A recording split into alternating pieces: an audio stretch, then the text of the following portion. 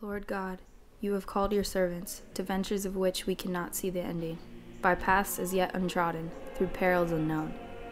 Give us faith to go out with good courage, not knowing where we go, but only that your hand is leading us and your love supporting us. Through Jesus Christ, our Lord. Amen.